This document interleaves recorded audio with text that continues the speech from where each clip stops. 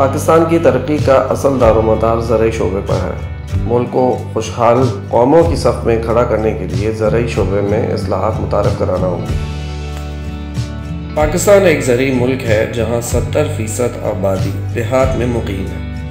ملک کی بڑی آبادی کے روزگار کا انحصار زراعت پر ہے، جبکہ ملک کے جی ڈی پی میں پچیس سے تیس فیصد تک حصہ زرعی شعبے کا مرہون منت ہے۔ ہماری برآمدات بھی ساٹھ فیصد کپاس اور اس کی مصنوعات پر مشتمل ہے ملک کے دیہی علاقوں میں سرسبز و شاداب لہلہات کھیت، ہماری صحت خصوصاً ذہن کو تازگی بخشتے ہیں۔ یہ کھیت کھلیان، کسان گھرانوں کے روزگار کا بڑا ذریعہ بھی ہے شعبہ زراعت کے توفیل گندم، کپاس، مکئی، چاول، گنا اور سبزیوں سمیت مختلف فصلیں اور دودھ جیسی نعمتیں میسر آتی ہیں۔ یہی شعبہ ملکی صنعت کے لیے خام مال بھی فراہم کرتا ہے۔ کسان اور کاشتکار گرم و سرد موسموں کی سختیوں میں بھی کھلے آسمان کے تلے اور یک بستہ راتوں میں ستاروں کی روشنی میں اپنے خون پسینے کی کمائی سے ملک کی ترقی میں کما حقہ حصہ ملاتے ہیں، مگر ان کی اپنی زندگی کسی بھی آسائش سے یکسر محروم ہے۔ یہ بات قابل افسوس ہے کہ ملک میں دیگر شعبوں کی طرح زراعت کے حوالے سے بھی حکومت کی کوئی پالیسی نہیں ہے۔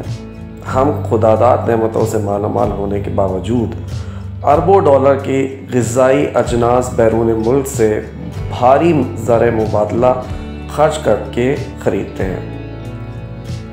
جامع زرعی پالیسی نہ ہونے کے باعث زمین کا سینہ چی کر قیمتی غذائی اجناس پیدا کرنے والا کسان خود غربت کی چکی میں ہی پستا ہے، جبکہ مڈل مین کسان سے سستے داموں فصل خرید کر منڈیوں میں مہنگے داموں فروغ کر کے بھاری منافع کماتے ہیں۔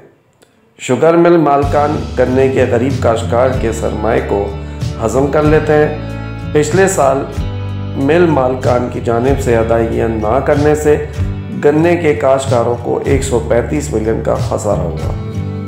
حکومت بھی زراعت جیسے اہم شعبے سے منسلک محنت کشوں کی سرپرستی نہیں کرتی۔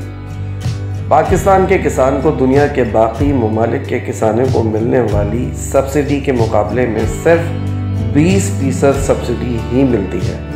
کاشتکاروں کو قرضہ بھی بھاری سود پر دیے جاتے ہیں، جبکہ روز افزو مہنگائی کے باعث ہاری قرضے لینے پر مجبور ہے پاکستان کے زراعت کے شعبے کی تنزلی کی بڑی وجہ کسانوں کے پاس جدید مشینری، اوزاروں کا نہ ہونا اور ملاوٹ شدہ دوائیاں بھی ہیں۔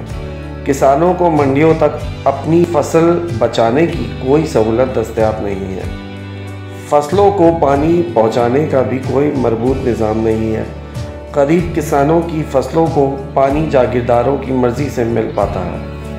پاکستان میں ان مسائل کی وجہ سے چھوٹے کاشتکاروں کا جینا محال ہو چکا ہے۔ پاکستان اس وقت معاشی بحران کا شکار ہے۔ حکومت کوششوں کے باوجود مہنگائی اور بے روزگاری پر قابو پانے میں اب تک کامیاب نہیں ہو سکی۔ اس صورتحال میں زرعی پیداوار میں اضافہ ہی ملکی معیشت کی حالت بہتر کر سکتا ہے۔ حکومت کو چاہیے کہ دیہات میں یونین کمیٹیوں کی سطح پر کسانوں کو کاشتکاری کے جدید طریقوں سے آگاہی فراہم کرنے کے لیے مؤثر پروگرام بنائیں چھوٹے کاشتکاروں کو غیر سودی اور آسان اقساط پر قرضے فراہم کرے ملک میں مختلف فصلوں کی کاشتکاری اور درخت لگانے کے لیے باقاعدہ مہم چلائی جائے۔ حکومت کسانوں کو فائدہ پہنچانے کے لیے آڑتیوں کی دسترس سے پاک کسان مارکیٹوں کے قیام کو عملی شکل دے۔ غریب کسانوں کی فلاح و بہبود کے ٹھوس منصوبے تشکیل دیے جائیں اور ان پر عمل درآمد یقینی بنانے کے لیے مؤثر اقدام کیے جائیں۔ وزیر اعظم چین، بھارت اور بنگلہ دیش میں زراعت کی وجہ سے ترقی کی مثالیں دیتے ہیں۔ اگر حکومت صرف زرعی شعبے کو ترقی دینے کے لیے سنجیدہ اقدامات اٹھائے تو ملک میں روزگار کا مسئلہ حل ہو سکتا ہے۔ ملکی معیشت بھی مستحکم ہو سکتی ہے اور ماحولیاتی آلودگی پر بھی کافی حد تک قابو پایا جا سکتا ہے۔ یہ حقیقت روز روشن کی طرح آیا ہے کہ کسان خوشحال ہوگا تو ملک خوشحال ہوگا۔